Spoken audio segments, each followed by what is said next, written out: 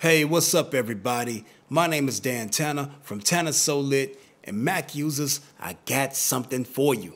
I'm about to show you guys how to use your Canon DSLR as a webcam for your Mac, but for free.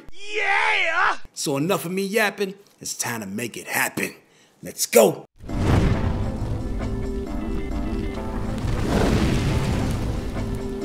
Well, all right, good people. Here we are at the Elgato website. Now, Elgato is a company that makes this device right here. And this device is a device that a lot of content creators that stream on YouTube, Facebook, and etc. use. It's called the Cam Link. Yes, sir. Yes, sir. A lot of people believe that this is the only way that you can get your Canon DSLR to work as a webcam on your computer. But first things first, let's check out the price and see how much it costs. As you can see, it's on sale right now for $129.99. So that's $129.99 plus tax and plus shipping. So you're probably looking at around what? The late 130s to 140 or something like that. But that's the price you're gonna pay for a Cam Link. But let me show you what I use. Well, all right, good people. Now, in order to get the first thing, you gotta go to google.com and type in the search browser, camera, live, app for Mac. Now select the first selection where it says releases. It's going to take you to the site right here, which has the download link. Now what you want to do is, when you get to the site, scroll on down to where it says latest release right here to your left. Go down under assets and click cameralive.zip and save the app from there. And now when Camera Live is downloaded, you unzip it and install it. Now, when you open the app, you're gonna see a very simple interface. This little interface right here, this is what you're gonna see. It's gonna have the word active to let you know that your camera is active and everything, and the name of your camera right here. But I'm gonna show you guys the cable that you're gonna need because some cameras didn't come with a data cable.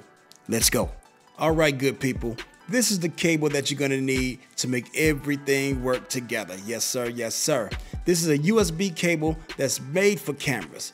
So just because you have a USB cable laying around the house with the same tips and everything doesn't mean it's gonna work. Trust me, I tried to do it two or three times.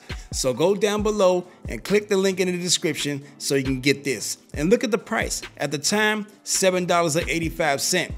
Sounds a lot better than 130 bucks, right? Now for the second software that you're gonna need, go back to google.com and type in Cam Twist for Mac. And select the first selection that says CamTwist. It's gonna take you to the official CamTwist website. This is the software right here that ties everything beautifully together. Now right here where it says download now, click on that and click on this download button right here. Press save and then install the software. It's very simple and easy to install. Now, all right, we got our USB cable connected, our camera on, and we got camera live launched.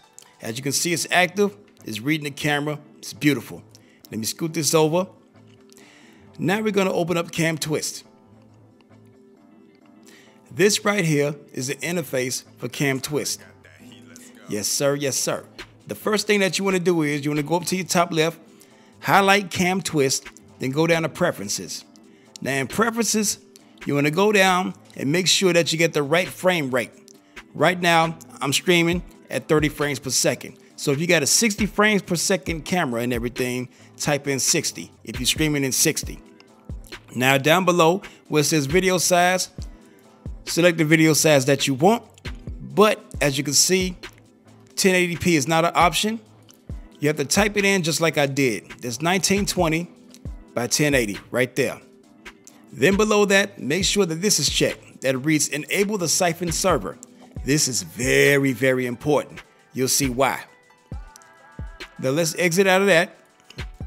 Go back to the interface and highlight up under video sources, Syphon. Then after that, hit select Yes, sir. Yes, sir. And then you see right here, it says effects in use, Syphon. This is gonna siphon the video image from your DSLR to your Mac. Yes, sir, yes, sir.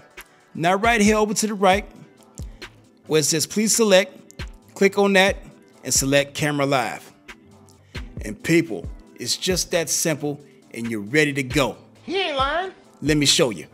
Well, all right, everybody. Right about now, I'm at StreamYard.com, about to start a live stream. Yes, sir, yes, sir.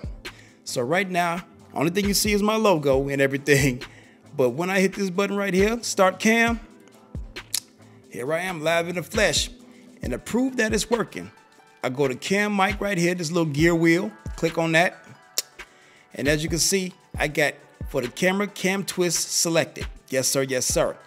And down below, I can change up the resolution or whatever. Me, I'm streaming at the highest they got right now, 720p.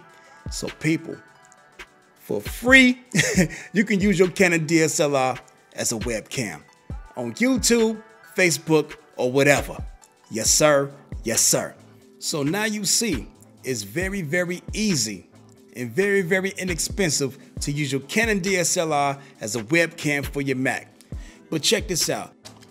Now, this is for those who bought their cameras used or their cameras just didn't come with it. Man, go to Amazon.com or click the link below in the description and get this right here. This is a power adapter supply for your DSLR. Yes, sir. Yes, sir. And look at the price. $13.99 at the time. 14 bucks. That's not that bad. And people, you're gonna need this because if you do a lot of live streaming or stream for a long time, your battery's gonna die out. And man, I done seen it time and time again with somebody's live streaming on YouTube and the camera just went kaput and they had to change the battery. So if you go on Amazon right now and get this power supply, you ain't gotta worry about that no more. And people, if you wanna get a better lens than your kit lens, then man, go to Amazon.com right now and get this Canon EF-S 24 millimeter. Yes, sir. Yes, sir. This lens right here is the truth. It's a slim pancake lens that is very, very crisp and handles low lighting very, very well. If you can afford it and if you can swing it, man, go ahead and pay that 129 and make that happen. It's truly, truly worth it.